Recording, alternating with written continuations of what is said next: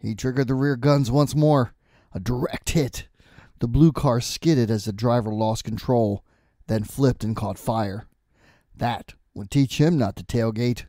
The year is 2040, and it's the freeway of the future where the right of way goes to the biggest guns. Car Wars Classic is back, and I'm going to do a deep dive into this classic game. Coming right up on RPG Retro Reviews.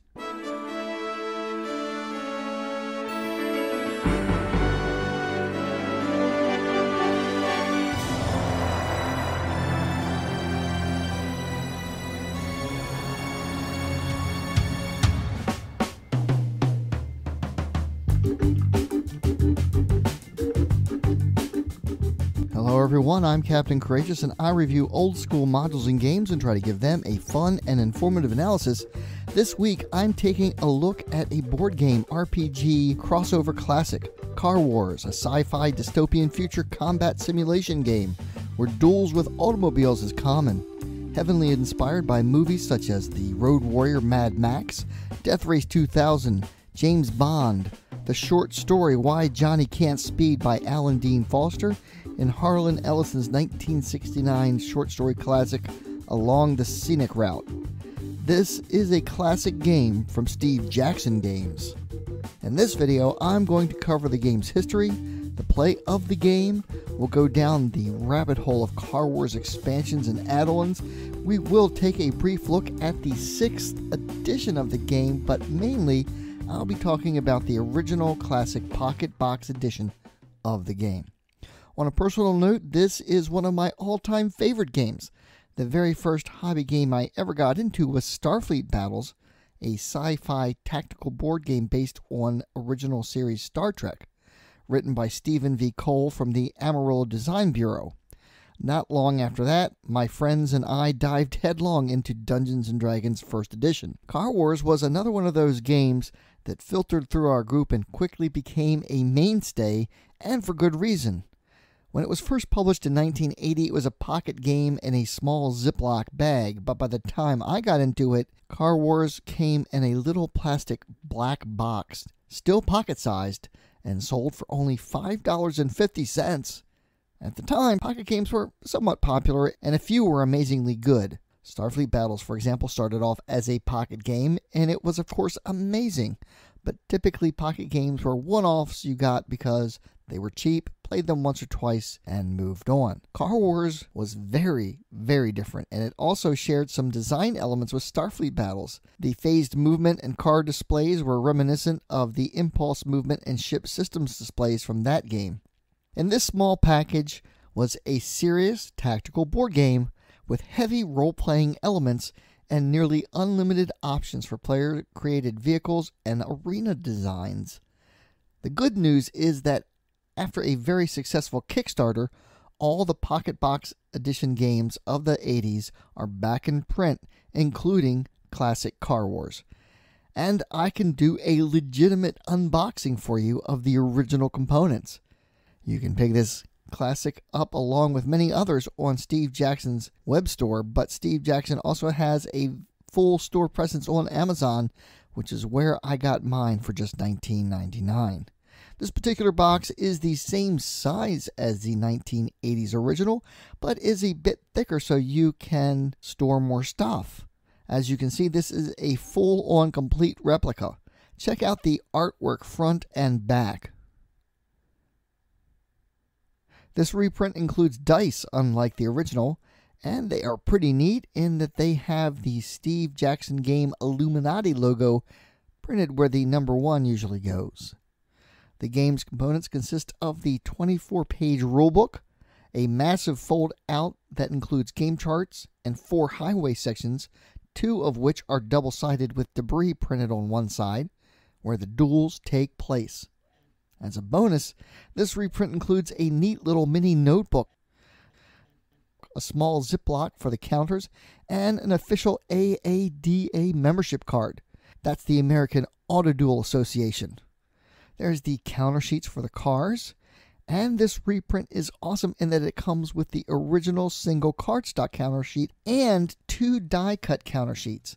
Very handy as a time saver And that's about it. While four highway sections for a board game may not seem like much, typically you would just move one sheet along the way as play progressed. Of course, given the components were just printed in black and white, it was easy enough to go to the local library. In the 1980s, there weren't really that many office stores. If you wanted to photocopy something, you went to the library. So you'd go to the library, and for 15 cents, you could make as many highway sections as you needed. As you can see here, the fold out sheet is pretty large, but it's meant to be cut up into smaller sections. And when you do that, you end up with the four road sections, vehicle design sheets, reference charts that include the crash tables, a movement tracker, and a listing of vehicle accessories. The gameplay is fast and chaotic and easy to understand, and games typically last from anywhere between 10 minutes to an hour or so, depending on the number of players. Usually, in a single night, you could play out several scenarios, but that really wasn't the best part. The game includes very detailed car design rules that take into account the car's chassis, suspension, tires, power plant, weapons, armor, and the weight and handling of the car. Later expansions would add in many options. The popular Uncle Albert's catalog included numerous entries not just for weapons, but for other components, including targeting computers, air dams and spoilers, ram plates, spike plates, and more. The catalog is written as a legitimate publication with frequently humorous entries for each component, and then the game design rules for the device and cost. Also of interest is the AADA vehicle guide, which lists not only all the cars for which counters are included in the original game, but uh, an additional 129 vehicle designs, more car options and rules for a then new vehicle type, the three wheeler trike, and rules for off road dueling. Players generally set up a purchase limit for their scenario they want to play and design cars based on that. Official dueling divisions for tournaments are divided up by cost in thousands of dollars. Division 5 vehicles are those costing $5,000 or less. Division 10 vehicles are those costing $10,000 or less, and so on up to $50,000 and more. To make things even more interesting, players could also create their driver using a very basic but effective character creation system. In general, players are concerned with their character's driving skill, their gunnery skill, and their prestige. Surviving car duels, either some random scenario on the highway or better yet, an officially sanctioned arena event, allows the driver to gain skill points to improve their character. Another part of the fun of Car Wars is creating a driver and having them move up the ranks in the lower divisions, winning money and prestige along the way. The core starting scenario is called Amateur Night. In this scenario, the arena provides the vehicles, low cost Division 5 cars, and those brave or stupid enough to try their luck have the potential to win cash prizes and that allow them to build more effective cars, travel the country from arena event to arena event for an ever increasing cash purse and prestige. This is where the character and campaign elements of Car Wars comes in, and just like any role-playing game, the gaming group can have a referee who designs the scenarios and runs the events. In addition to keeping track of movement phases and a lot of the bookkeeping elements of a game and making ruling on the rules, a referee can act as the arena announcer, giving an amusing play by play as the chaos of the event unfolds. So much fun. Not a bad little game for just $5.50, huh?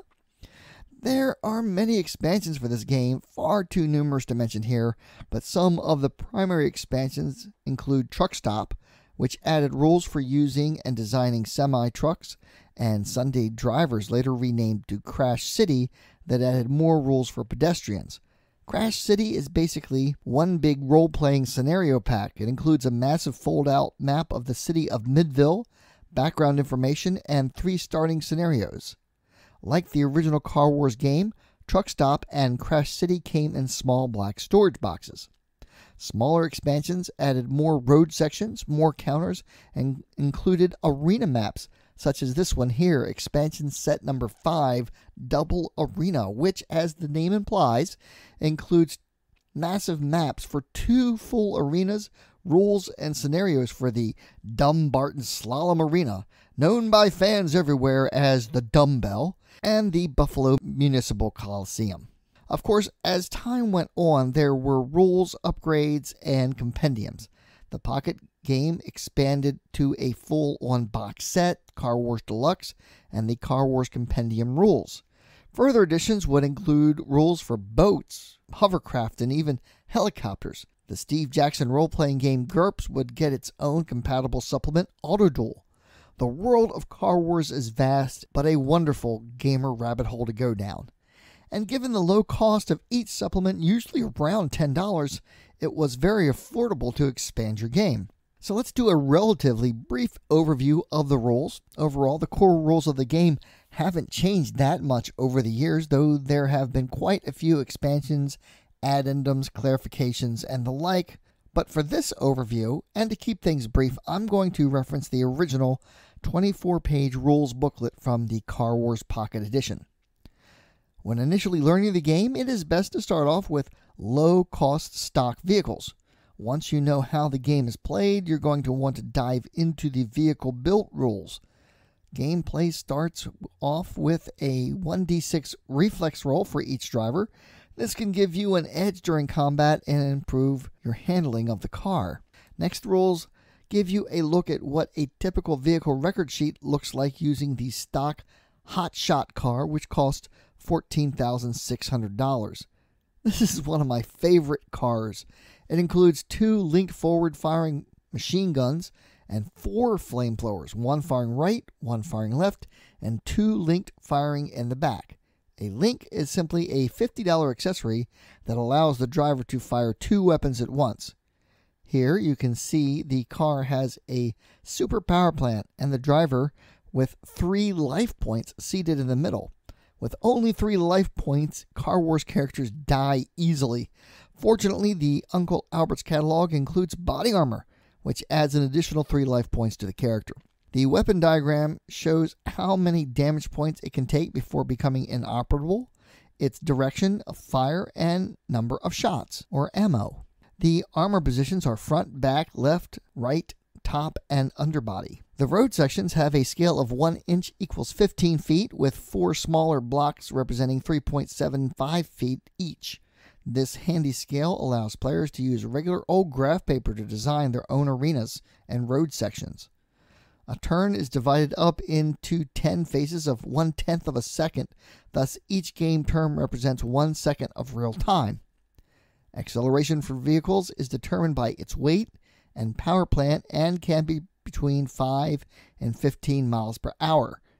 Deceleration is a straight 10 miles per hour, but it's possible to decelerate faster but faster deceleration becomes riskier the more you want to slow down. Anytime you try to maneuver in the game or encounter a road hazard, it's assigned a difficulty, or D. At the start of the turn, your car begins with its base handling class set to its starting level, usually 3, but depending on the car's suspension, it could be a 2. Driver skill and your reflex roll can also start the handling as high as 5. The game lists a variety of possible maneuvers a driver can try and its difficulty. As the turn progresses, the status of the car's handling decreases accordingly. The effects of such are made clear by the control table chart. As you can see, the car's speed determines just how dangerous a low handling rating can be. When a number appears in the handling chart, you have to make a 1d6 roll and attempt to roll that number or higher. If you failed, you go to one of the two crash tables, depending on whether the failure was due to debris or a maneuver. Either way, going to the crash table is to be avoided. Results include anything from a trivial skid to a full on roll of your car. Unless the car has a gunner, which take up an additional weight and space, a driver may only fire once per game turn.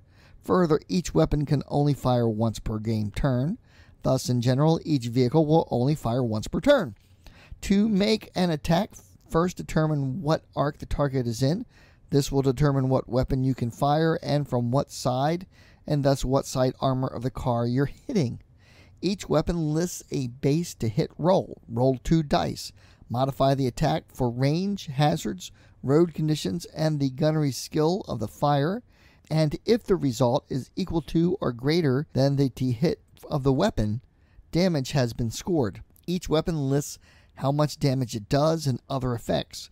For example, a flamethrower can't target a vehicle more than 10 inches away, and it always produces a smoke screen when fired. Play generally continues until one car is destroyed, can't move, drives off the arena, leaves the scene of the combat, or the driver is killed. Given the sheer volume of sets and expansions available for Car Wars, if this sounds like something you might be interested in playing, at this moment you just might be asking, well, Captain Courageous, where's the best place to start? I'm glad you asked that question. Unequivocally, spending the $20 to get the Car Wars Pocket Box is a must. Not only will you get the cool box to hold your stuff, but you'll get a nice starter pack of the game, which will give you enough information to decide if this is your kind of game and at a very reasonable price. Plus, the die cut counters will save you a ton of time over cutting everything apart using scissors. Next, you might want to hop on over to DriveThru RPG and pick up the Car Wars Classic version of the rules for just $6. Not only will you get printable counters and road sections, but you'll get the latest version of the rules updated in 2015. As opposed to 24 pages, these rules are 64 pages long and include the errata, better collision rules, and overall the rules are clarified and better explained, and that 10 phase combat round is shortened to 5 phases, speeding up play considerably. These rules are ready to be booklet printed, and as you can see here, they turned out pretty nice for me. Of course, I made this cover myself, and if you want to see how I do booklet printing, I did a step by step instruction guide on this a few years ago, so check the description or the link in the corner. Now, if you end up liking this game, let me recommend Uncle Albert's Auto Stop and Gunnery Shop 2035 catalog for an amusing and functional game accessory that lists all the weapons and accessories from the basic rules and a ton of additional weapons and options. This is really a must have for any real Car Wars fan. Also, the AADA vehicle guide lists 120 different vehicle builds, another must have. As far as expansions go, Expansion 1 includes the legendary Armadillo Autoduel Arena mentioned in the rules and crashed versions of all the car counters that come in the original game. Expansion Set 5 is great. It comes with these two massive arenas the Dumbarton Slalom and the Buffalo Municipal Coliseum, and a bunch of arena car counters. The included scenarios are all great, especially if you have a referee to activate the Coliseum's random weaponry. After that, Truck Stop and Crash City are also must haves. All of that combined would run you about $90 and you'd have enough material to keep you playing for years. Uh, but that's what I think. How about you? What are your must have Car Wars supplements, expansions, and rules options? The deluxe editions are really optional, in my opinion, and add in a bunch of things I personally have little care about, such as hovercraft, boats, and helicopters. I just want to fight with the cars. Um, also, check out uh, Through RPG. There are a ton of expansions available for just three or four dollars, and you can just print your own road sections and make up all kinds of track sets. Of course, there's Warehouse 23, which offers a ton of free downloads, including turnkeys, some of them resized to different scales, so you can play Car Wars using Hot Wheels, for example. Painting and modifying Hot Wheels and Matchbox cars with turrets and machine guns in the style of Mad Max vehicles is a whole secondary hobby in and of itself. And as I said, this game is one great gamer rabbit hole. You can also get creative and make your own Autoduel arenas with craft paper, which is, in my opinion, another one of the charms of this game. Car Wars is that rare gem of a game where the things that you do when not playing it are as much fun as actually playing the game. Let me also take a moment to direct you to the Combat Garage website. Here you can quickly design just about any kind of Car Wars vehicle you like with components from the deluxe editions on up, and then print out a car diagram and cost worksheet, reducing the time for car construction significantly.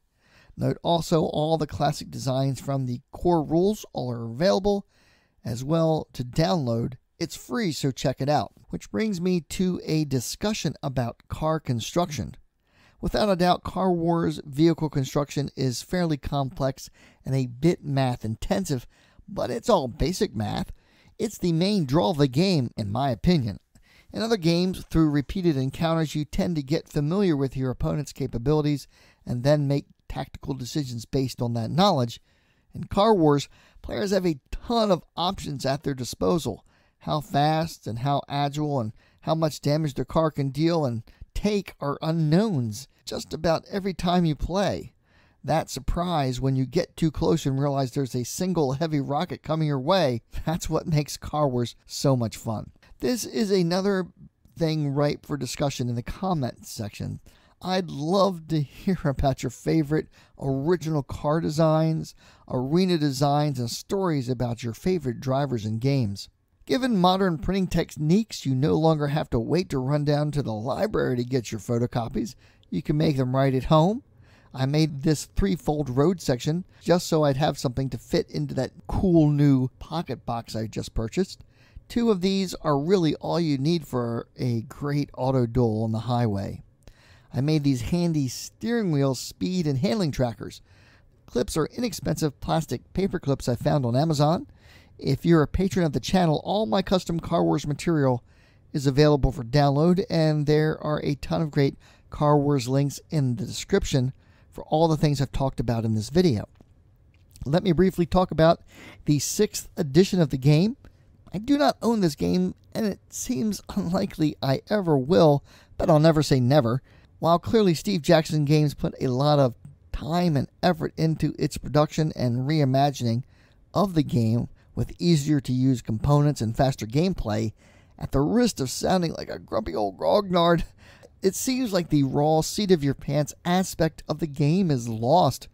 Car Wars at its core was a pencil and paper game. It used counters and paper map sheets that were inexpensive to purchase or fun to draw yourself. Vehicle construction was done with a design, sheet, pencil, a calculator, and your imagination. Getting into the game was super easy and it was very accessible not only in price, but the gameplay area of the road sections meant your basic dining table was the perfect play area.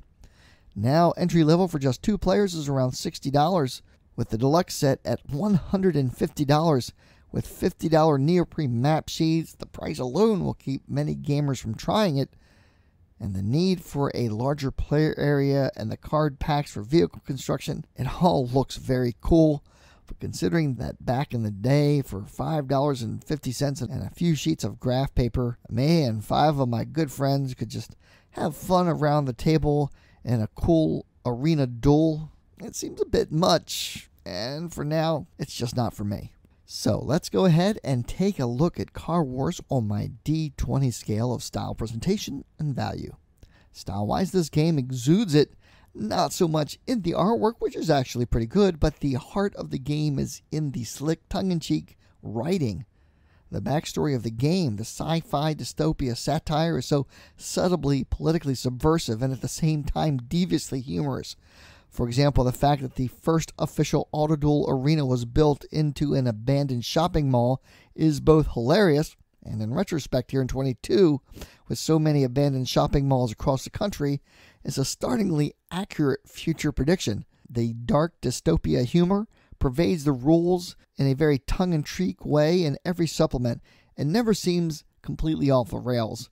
Uncle Albert's catalog is a prime example, or the Dumbarton Slalom Arena known as the dumbbell to fans everywhere. The game feels alive and real. It hits the right notes. The actual gameplay is relatively smooth, but isn't without issues. The collision rules are a bit clunky, and some probably don't have the patience for the vehicle construction rules. But even with those little drawbacks, the game still plays fast and is a lot of fun. I'm going to rate this one an 18. As far as presentation goes, the rules are very well explained and straightforward. Even some of the more complex aspects of the game, such as vehicle construction, are easily understood in practice. Looking at the Pocket Edition, it's amazing what's included even at the new $19.99 price here in 2022. The production values are low, but in my humble opinion, This is one of those instances where low production values work in the game's favor, and that the components are easily reproducible, especially with modern printers. You can make your own road sections and tracks. With photo paper and heavy cardstock and a paper guillotine, you're in business. Even the reprints now available are still inexpensive, with the expansion packets coming in at just $10. I'll rate this an 18 as well. So let's go ahead and talk value. If you love a fun, chaotic, fast play game with explosions, unpredictability, and dark dystopia humor, then Car Wars is a must have. And as I've already made clear, there are multiple ways to get into this game on a budget. This game, for a nominal price, can quickly start filling up a lot of your free time. So I have to rate the Car Wars Classic game a natural 20.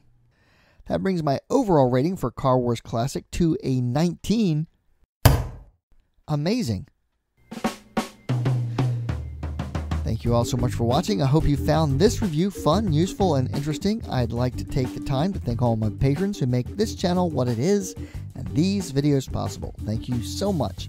I know some of you are still looking for my review of Call of Cthulhu Mansions of Madness Volume 1, and it's definitely in the works. I just had so much completed material in the Car Wars video, I just had a lot of fun making it.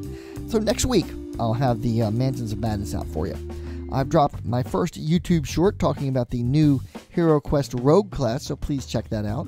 Please give this video a like, comment, and share. Please check out my Teespring store.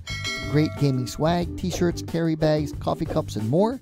Join the channel's Facebook page, RPG Retro Reviews, and consider supporting the channel by becoming a patron yourself, or alternatively, you can just send a tip through the PayPal tip jar. Link is in the description. As always, my friends, may your D20 roll true. Game on.